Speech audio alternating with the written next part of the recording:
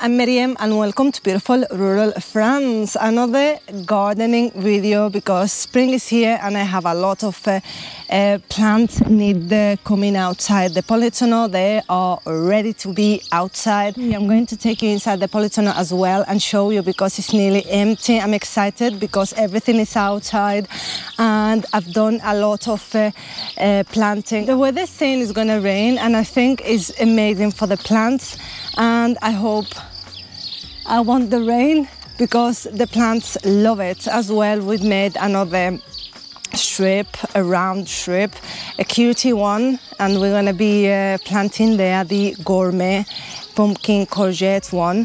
And I had two pots, and one I've thinned them and put them in like different pots. They're doing amazing. I'm gonna show you inside. But the other pot, I want to try to like plant it all together and experiment and see what it does. And then so we made like a nice cute round circle and planted the full pot with nice compost around it.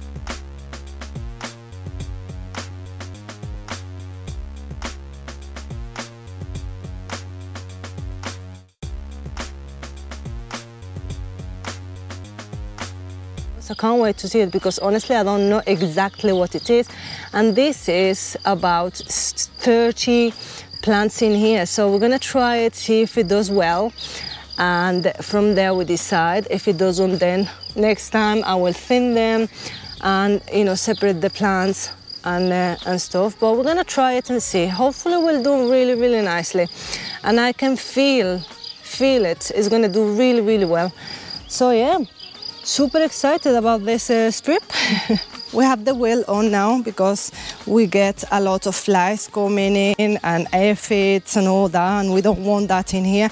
So as you can see we have plenty of things gone outside. Nero of uh, Tuscany kale is gone outside. Nearly all the broccoli is gone. We only left with these teeny tiny ones and I don't know with these ones. So they've been here at the same time as the other ones I've, uh, I've took outside. So I think in the end I will put them outside, straight in the land and see what they do. Experiment with them as well. Some Kales as well, they're tiny too. And we're gonna do the same thing. I think in the, in the end we're gonna put them outside and straight on the ground. And this is the other pot with all the gourmets and they're doing amazing. So we've separated every plant. Some of them have two two plants in it, but you can do the best anyway. So sometimes you can't separate them and you don't want to be damaging the roots. So if they are two together, I normally leave them.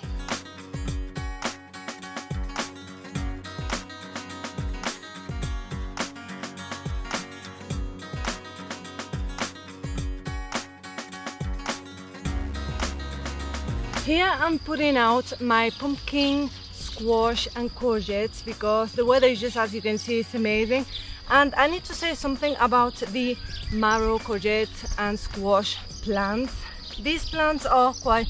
I'm cropping the leaves on the bottom because I'm gonna put them very firm and in so those two leaves they're gonna get rotten and to stop damaging the rest of the plant so I put them off. And anyway they're gonna grow very very big so the thing about this plant, especially if you live in very dumpy place or very wet place, these plants can get like a mildew. It's like a white powdery on the leaves, but don't worry, they are not harm at all for the plant. And you just make sure when you water your plants water them straight on the ground instead of on top of the leaves because then you stop damaging the plant and the leaves from burning.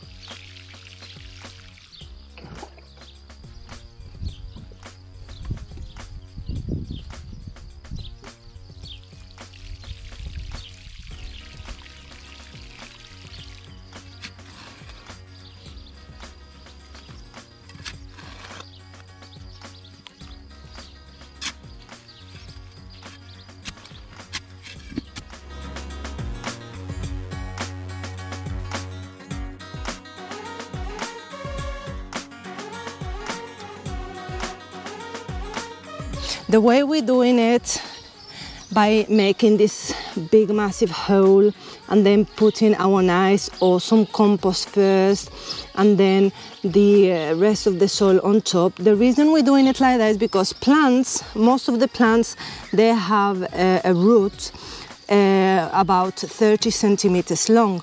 So the deeper I make the hole and the more I fill the hole with nice compost. We have our compost is just excellent.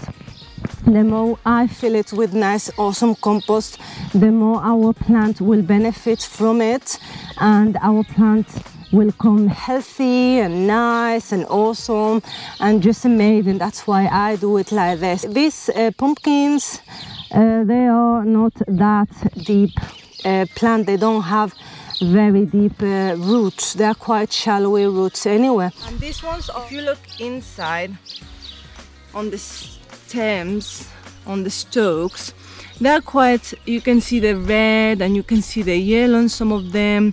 It's just amazing. I can't wait to try this beetroot. I'm going to put them in this uh, spot next to the dill because the dill is quite a very frisky gets tall and like and like frisky like this. So having them around it it's going to be amazing because beetroot is quite low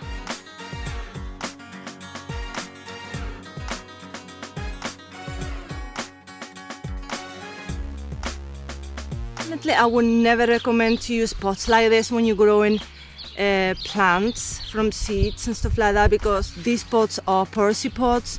So any water you put in dries them so quickly and especially if you have them in the polytunnel it gets very warm in there. So you need to constantly give them water. To bring these plants outside this pot is quite a bit difficult because having the plastic pots you have more flexibility to like squeeze them a bit from the bottom and they come easily and you don't hurt the plants.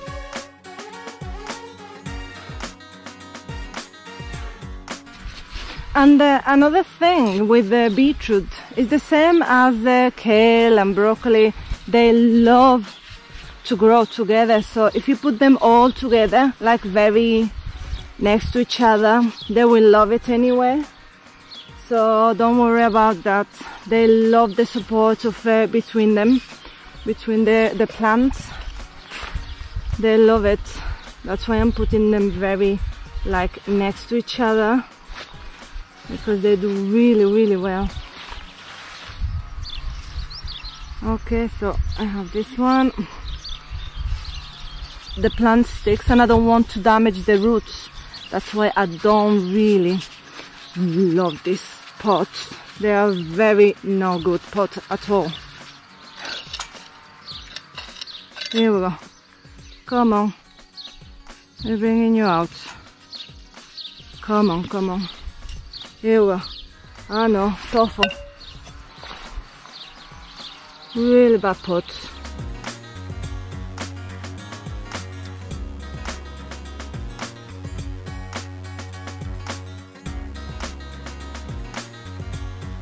The, the good thing about beetroot is you can eat the leaves and you can eat the fruit, the beetroot. But as I said, because I have plenty of uh, beetroots from last year, uh, I'm going to keep those ones to eat the leaves. And then these ones, because they are so special and they are colorful beetroots, I can't wait to taste them. I'm going to crop all the leaves uh, with time and then I will be eating the beetroot so I can't wait for this I'm so excited because I've never had this uh, species of beetroots and I'm excited. The broccolis and kales we've just uh, planted outside and as I said here is where we had the two years old kales and broccolis and uh, we've left a couple of teeny tiny on the start of this trip um, in the spot for now because they don't really well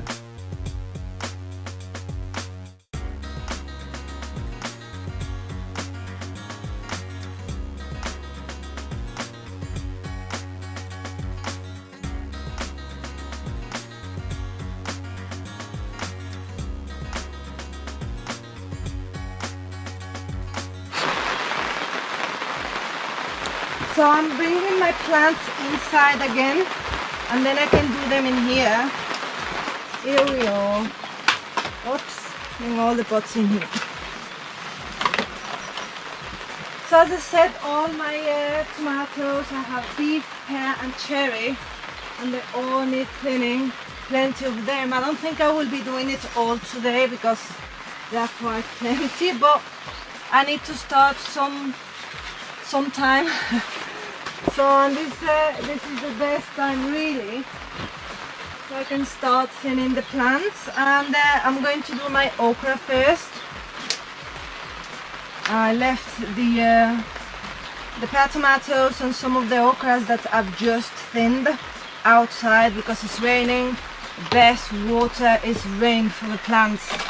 It's just amazing for them. So I'm gonna start thinning them and putting them in bigger pots, a bigger size pot.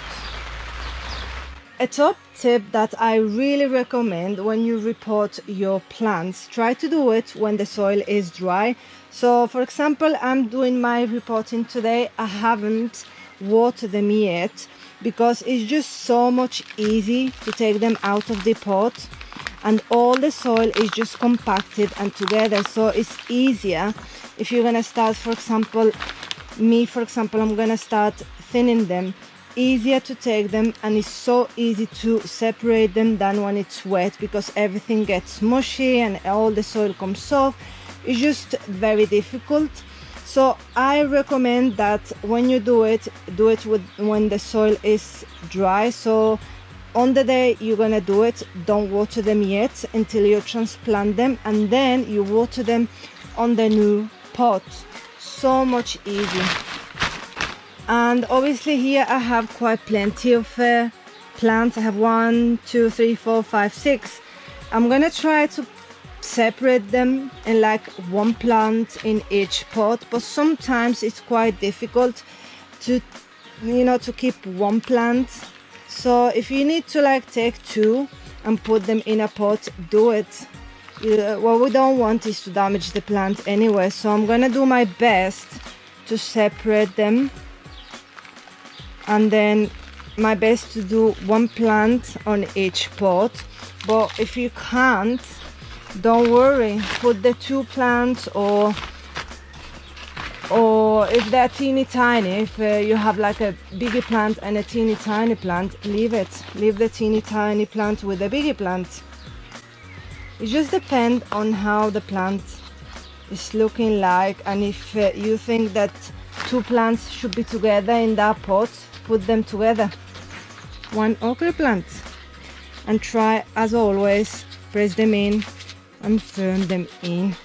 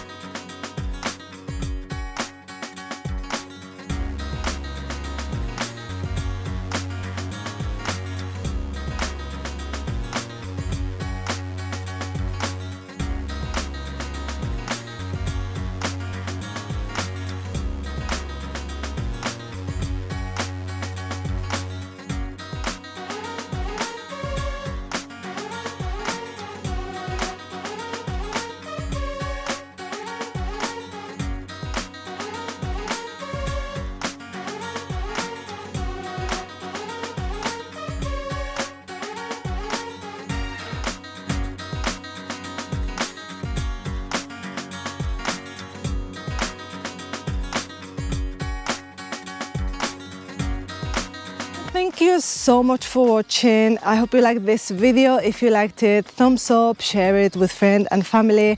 And don't forget to subscribe and click the bell icon because that will help massively this channel to grow an awesome community together. So thank you so much for watching. Have an awesome awesome day. Take care and see you soon